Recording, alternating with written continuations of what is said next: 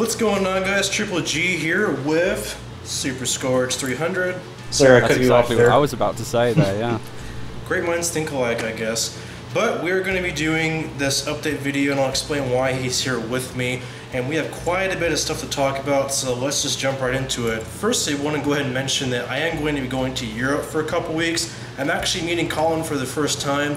We're going to be going to London, Paris, Venice, a whole bunch of places in Europe. We'll be doing a lot of vlogs as well, so keep an eye on my second channel. Link below will be in the description for that. Going to be putting out a ton of vlogs of just us being random and showing you, you know, our trip basically. And I'll be uploading a ton of videos on that, so stay tuned for that. It's going to be a pretty fun trip, but I did want to go ahead and let you guys know that because we are going to be gone for quite a while. But keep an eye on that second channel. We may or may not be uploading some of those vlogs while I'm there. There may be some delay in that, but definitely keep an eye out for that. It'll I think in the long run we will be. I'll be bringing my laptop and I plan to upload videos that I need to put on my channel while I'm away anyway. Yeah, me and him will both be uh, uploading stuff, I guess, or do you just want me to? Or how does that work? I don't know, either I'll put some on my channel and you can put some on yours as well, or just you, or, Yeah. well, I mean, the videos I have to upload are related to my channel. They're my Scourge Play series and stuff. Yeah, so I guess we'll both record like vlogs and stuff and whatever. So, but keep it on my second channel. I'll probably try to put most of them on there. But yeah, I just want to give you guys a heads up. I'm gonna be going for a couple weeks, and I'm actually not gonna be back till the end of July. So that's why there's gonna be kind of a long delay and not any videos being uploaded. So I want to let you guys know that. Second thing is, I know a lot of people basically are asking me about updates about Zombie Attack Revelations. So a quick heads up, this is going to contain some spoilers from Zombie Attack Legacies. So if you haven't seen this yet, I'll put a title somewhere in the video of a certain time in the video to, to skip ahead, to skip all the spoilers. But basically, at the end of Zombie Attack Legacies, there were a lot of questions left unanswered, like who is that guy with the mask on at the end, uh, how was Carter back, etc. We are not releasing any details exactly on that, of course, because that would be huge spoilers, but we are in the work of making a new series called Zombie Attack Revelations or ZAR. Not a whole lot of info I can tell you guys about this because it really is just right now a work in progress.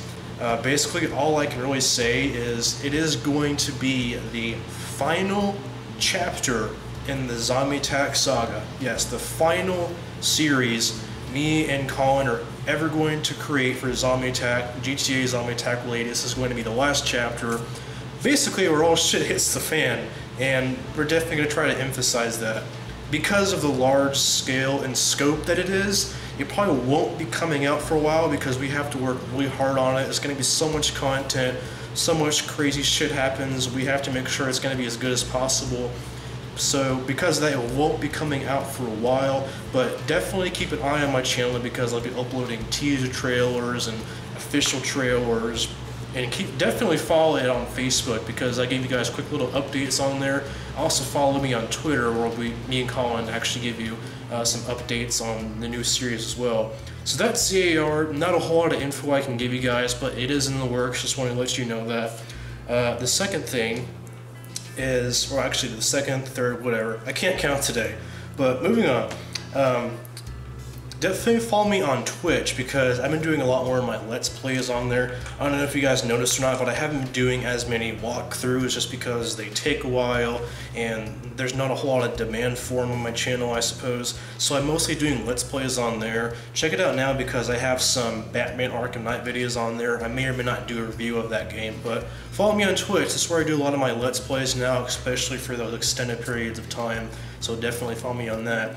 And uh, a lot of people like my reaction videos, which uh, is surprising because I didn't know they were going to be as big as they were. But a lot of people like seeing me like excited for games, and all those reaction videos are 100% genuine. Absolutely, I don't like people that do fake reactions. So all these reaction videos I do, the first time I'm seeing any of these videos, they're 100% genuine. I promise. And I'll do some more reaction videos for those. Not sure which games or movies I'll be doing reaction videos on, but I guess just stay tuned. Follow me on Twitter, I'll let you guys know that. And that's all I have to say for upcoming videos on my channel. I'll be, of course, you know, GTA 5 funny moments are going to be sticking around for a while.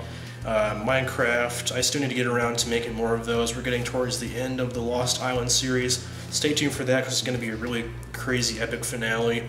And yeah, that's pretty much it for now. I'll let you guys know if things changes. But that's not the only thing. While you guys are waiting ZAR, and because you guys have been so patient with us and so supporting of the series, Colin actually came up with a idea to kind of to kind of help you guys with the wait for ZAR. Do you want to explain what that's about? Yeah, I'll go through it bit by bit. There's a couple things I need to cover regarding this. Basically, I'm developing a spin off series that's going to be five episodes in length, uh, roughly the same length of each episode of like a zombie attack series episode, where it's roughly 30 to 40 minutes in length. It is being titled GTA 5 The Zombie Attack Legacies Alpha Protocol. Basically, I'm directing this series, which is the first time since I've directed a series since the Zombie Attack Origins back in like 2011 and 2012 and the first time I'm ever recording the series in full from my perspective, considering I just got a capture card of my own that can record in 1080 60 FPS. So I just figured it'd be a good chance to test it out, and also help people, you know, tide people over until the wait for ZAR. Now, there's a couple things to discuss on this series, one being the plot. Uh, basically, it's going to be set three months before the beginning of the Zombie Attack Legacies. Uh, it covers a character, I'm actually looking at uh, notes I have on my screen right now, it covers a character called Alex. Uh, no second name right now, that's kind of part of the plot. Basically, he doesn't know who he is, where he was born, he knows nothing about himself. Yes, I'm pulling the amnesia card. Uh, he meets a woman by the name of Katherine Faraday, who is a investigative journalist, and together, him and her go on this sort of journey to discover who he is and his actual uh, where he comes from, why he has yeah, another interesting thing about Alex's character which you'll see in the trailer. In fact the trailer should probably already be out by the time of this video. But uh, he has some sort of superhuman strength that is very similar to the likes of someone who uses potassium. So part of the story is discovering why that is. Why has someone experimented on him? Maybe it was something to do with his family. Does he have any relation to Gold Tech? these are all things that will be discovered in the show like I said, it's only five episodes in length, which so it's a lot to cram into five episodes. But I did it the same with Origins, and it fit in just fine. So I think it'll be. It doesn't have to be over the top. It doesn't have to be ten episodes. I'm only aiming for this to be a, a short side thing to go alongside with the wait for Revelations. Um, yeah. Exactly. Yeah. So Oh yeah, another character who's actually very important. A couple people have been saying I should have turned him into a villain, but for reasons that you will see, I didn't a character by the name of Marcus Arkwright. He is a uh, financial investor. He does a lot of uh, backroom deals with companies to get them going, but he also does a lot of illegal work. And he knows the Alex character. He's known him from a long time. Alex went missing several years ago, and it's been the first time they've seen each other for years. Alex basically comes to Marcus for help on finding out more about his past because of Marcus's connections. He can help him out, Alex is being chased by a variety of people. There is actually going to be three separate villains in this series. Uh, so I'm taking I'm taking a line out of like Marvel movies where there's always like multiple villains. There are a group of bikers who are after Alex because he's pissed them off. You'll see why. Uh, Nepo come into it towards the end, and of course there is Zeke and his army before they were revealed, trying to quietly capture Alex so they can experiment on him. So that's mm. going to be interesting that there are three separate villain groups. Uh, there will be cameos in the series. Uh, in the trailer, you will see Zeke, you will see Cypher. Uh, this, like I said, this is three months before Legacies, so yes, they are around, they are in the city limits, they should be there. I'm not quite sure if we'll be seeing the likes of characters such as James or Eli, but who knows, things might change in the writing later. We might have them in, we might not, we'll just see how it goes. Mm. How it aims to be different is in the fact, well, what makes this series stick out a little bit is because in previous series as we've done, we've always had character progression where the characters steadily get become stronger. I mean, you know this, Josh. We talked about it when we did series three. We wanted to have all of the characters best themselves, didn't we? Exactly. Mm-hmm. The difference with this series is, and this is a little bit kind of breaking the mold, but the point of this series is that this Alex character, there is no progression because he's already superhuman.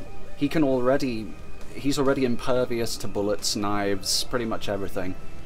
And it's basically about his slow bond that he gains with this Katherine woman and how they help each other. She helps him become stop you know stop being such a dark individual stop like she doesn't want to hurt people she's not kind of a gunfighter like like we would know from characters such as maya.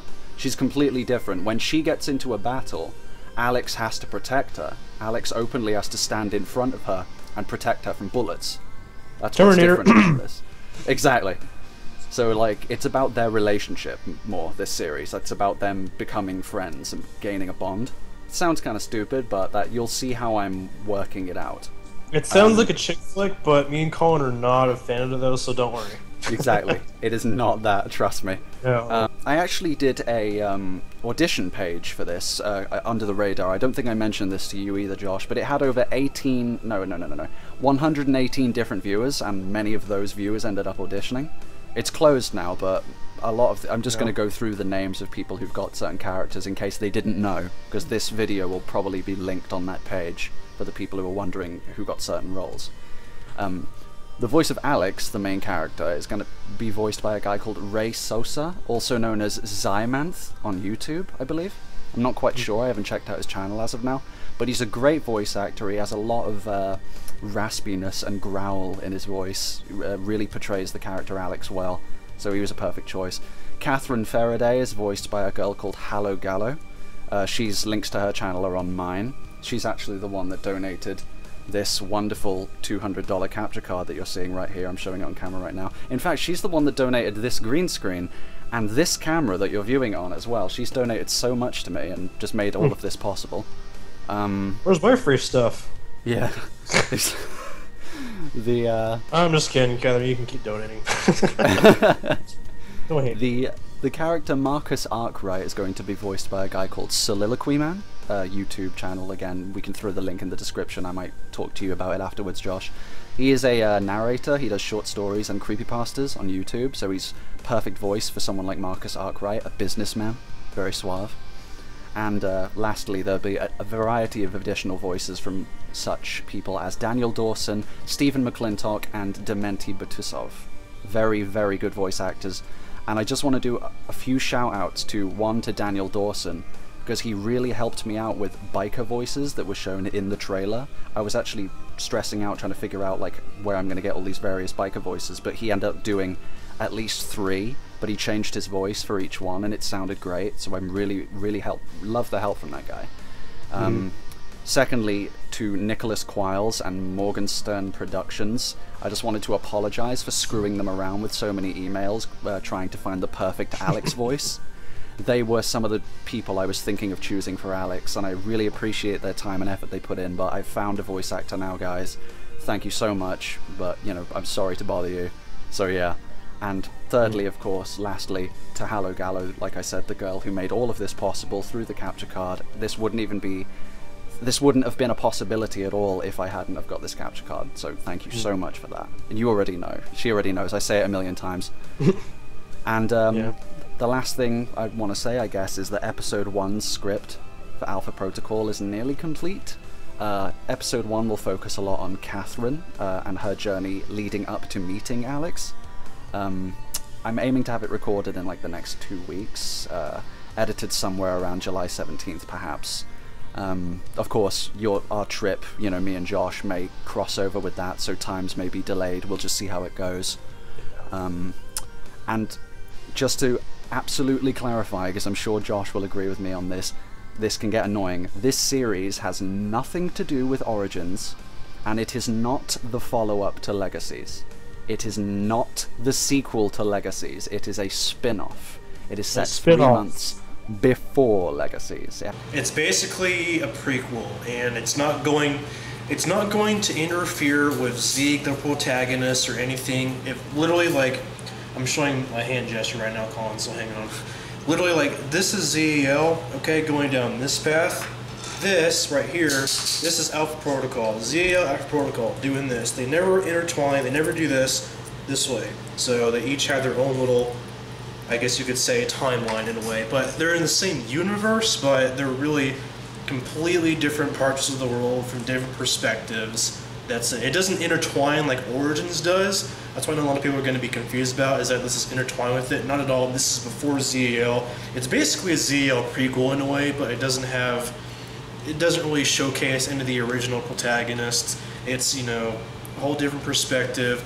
I only know so much about it because Colin's been working on it, but because he's saying this really isn't going to match with the ZL or ZR story at all, it's basically going to be its own kind of thing, then yeah, I'm all for it. So, awesome. Um, dare I say that, you know, perhaps if all goes well, perhaps some of the story elements that are introduced in Alpha Protocol could potentially carry on into ZAR, if they're popular enough. There will be hints of stuff in it, like little, I guess you could say, like I don't know, little teasers or Easter eggs you can put in with ZR, but it's really not going to affect its story at all.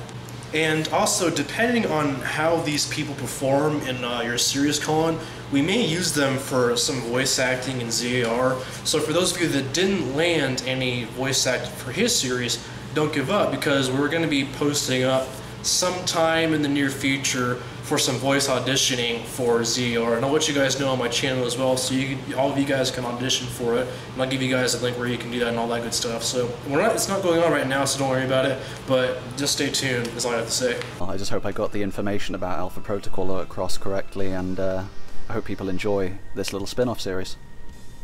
Yeah, it's basically there to help you guys with the wait for ZR. Hope you guys enjoy it. Colin's been working really hard on it, and we're really excited to film the ZR2 because not only will I be able to film it, but he has his own capture card now, so that we can film it from multiple perspectives, make it feel even more like a series or a movie, oh, if you will, get more better shots in there.